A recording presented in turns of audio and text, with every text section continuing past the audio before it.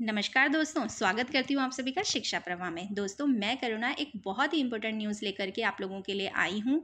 उन सभी विद्यार्थी के लिए जो अभी ट्वेल्थ क्लास में बोर्ड की परीक्षा देने वाले हैं और लेना चाहते हैं दिल्ली यूनिवर्सिटी में एडमिशन तो बेटा, दिल्ली यूनिवर्सिटी ने अपनी एडमिशन पॉलिसी को जारी कर दिया है। क्या है दिल्ली यूनिवर्सिटी की एडमिशन पॉलिसी जानेंगे इस वीडियो में। इसके अलावा बेटा, कुछ विद्यार्थी ऐसे हैं जो एसओएल में एडमिशन लेना चाहते हैं या फिर national collegiate women's education board में एडमिशन लेना चाहते हैं तो उनके लिए क्या रहेगा इस बार एडमिशन का प्रोसेस 2022-23 में, वो भी जानेंगे। तीसरा बेटा, कुछ विद्यार्थी जो रेगुलर कोर्सेज में एडमिशन लेना चाहते हैं अंडर ग्रेजुएट रेगुलर कोर्सेज में करना चाहते हैं तो बेटा, उनके लिए सी परीक्षा के विषय क्या होंगे? जानेंगे ये सभी इसी वीडियो में। लेकिन इससे पहले, अगर आप शिक्षा प्रवाह पर पहली बार आए हैं और आपने चैनल को सब्सक्राइब नहीं किया है तो चैनल को सब्सक्राइब ज़रूर कर लें, जिससे कि इस तरह की जानकारी आपको मिलती रहे। तो दोस्तों, शुरू करते हैं हमारी आज की वीडियो। तो दोस्तों, दिल्ली यूनिवर्सिटी ने अपनी एडमिशन पॉलिसी को रिलीज़ कर दिया है। मैं आपको बता चुकी हूँ, दिल्ली यूनिवर्सिटी के वाइस चांसलर योगेश सिंह जी ने कहा है कि डीयू की एडमिशन पॉलिसी में इस बार जो एडमिशन होगा, उसके अंदर सी यू ई टी के अंकों को ही आधार माना जाएगा। डी यू के साथ साथ देश की 45 सेंट्रल यूनिवर्सिटीज़ में जो एडमिशन प्रोसेस है, वो सी यू ई टी के माध्यम से ही होगा। आप लोगों को बेटा पता है कि पहले जो एडमिशन होता था, उसमें ट्वेल्थ क्लास के अंकों के आधार पर आप लोगों का एडमिशन होता था और कट ऑफ़ मार्क्स तय होते थे, उसके अकॉर्डिंग बच्चों को एडमिशन मिलता था। लेकिन इस बार आपको सी यू ई टी देना होगा अगर आप दिल्ली यूनिवर्सिटी में एडमिशन लेना चाहते हैं।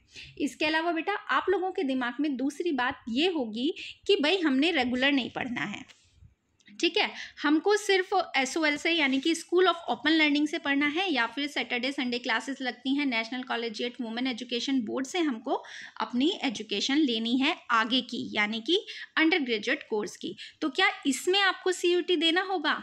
तो बेटा, सिर्फ़ यही दो कोर्स ऐसे हैं जिसमें आपको नहीं देना होगा सी कौन कौन सा? स्कूल ऑफ़ ओपन लर्निंग अगर आप स्कूल ऑफ़ ओपन लर्निंग से अपना अंडर ग्रेजुएट करना चाहते हैं तो आपको सी देने की ज़रूरत नहीं है।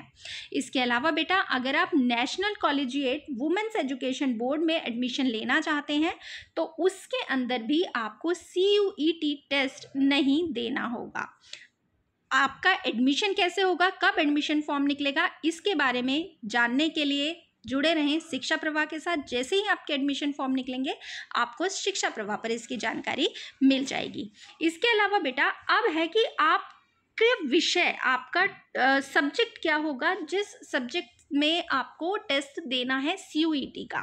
तो इस बारे में डीन एडमिशन हनीत गांधी जी ने कहा है, छात्रों ने जिन विषयों से बारहवीं की होगी, ठीक है, जिन सब्जेक्ट से बेटा आप लोगों ने बारहवीं की है उन्हीं विषय में आप अपनी सी e की परीक्षा देंगे। जो आपकी मेरिट होगी बेटा, वो मेरिट भी आपकी उन्हीं विषयों के आधार पर आंकी जाएगी। यानी कि उन्हीं विषयों के आधार पर आपका एग्ज़ाम होगा और उसी के आधार पर आपकी मेरिट में सिलेक्शन होगा। सी e के तीन सेक्शन होंगे बेटा। पहला जो सेक्शन है, दो भागों में बटा होगा, जिसके अंदर तेरह भाषाएँ होंगी। और जो आपका दूसरा सेक्शन है बेटा, उसके अंदर बीस भाषाएँ होंगी दूसरे सेक्शन में। ठीक है बेटा? तो इसके बाद है एक भाषा को आपको चुनना आवश्यक होगा। देख लेते हैं। सभी सूचित भाषाओं में से एक भाषा को आपको चुनना होगा। और हाँ देख लीजिए, आप लोगों को इसके अंदर मिनिमम क्रिटेरिया दिया हुआ है, यानी कि थर्टी प्रतिशत अंक लाना आपके लिए अनिवार्य होगा। एंट्रेंस का जो दूसरा सेक्शन होगा डोमेन स्पेसिफिक होगा। इसके अंदर सत्ताईस विषय होंगे। उन सत्ताईस विषयों में से कोई भी एक विषय आपको चुनना होगा। और उस विषय में विषय में आपको अपना एग्ज़ाम देना होगा। तीसरा सेक्शन जो होगा, वो बेटा आपका जर्नल नॉलेज का होगा और जर्नल नॉलेज के आधार पर आपको तीसरा सेक्शन देना होगा एग्ज़ाम देना होगा और मेरिट में अपना नंबर लाना होगा। इसके आधार पर आपका अंडर ग्रेजुएट कोर्स में एडमिशन होगा। एडमिशन के लिए सभी कैंडिडेट्स को दूसरे सेक्शन से कम से कम तीन विषय चुनने होंगे। यानी कि जो पहला सेक्शन है बेटा, उसके अंदर आपके थर्टी प्रतिशत नंबर होने चाहिए। जो दूसरा सेक्शन है, जिसके अंदर सत्ताईस विषय हैं, उस सत्ताईस विषय में से आपको कम से कम तीन विषय चुनने होंगे, जो डोमेन स्पेसिफिक होंगे। ठीक है बेटा? विषय बी वन और बी टू में बटे हुए होंगे। जो सब्जेक्ट आपके सत्ताईस सब्जेक्ट होंगे, वो बी वन और बी टू में बटे हुए होंगे।